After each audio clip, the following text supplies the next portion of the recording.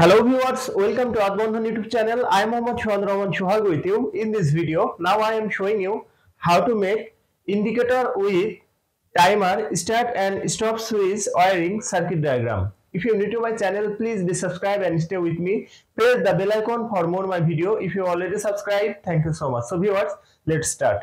DPMCB circuit breaker, contactor, timer, stop switch, start switch indicator 1 and 2 phase connection input to DPMCB neutral connection input to DPMCB neutral connection from DPMCB to connect contactor phase connection from DPMCB to connect stop switch phase connection to contactor output connection from contactor to start switch another connection from start switch to stop switch output connection from contactor to connect start switch another connection into timer output connection to contactor another point. Output neutral connection to indicator lamp 2 another neutral connection to timer. Input connection to contactor neutral connection. Output neutral connection to indicator 1 output connection from timer to connect indicator 2 another connection from timer to connect indicator 1 output connection from contactor for load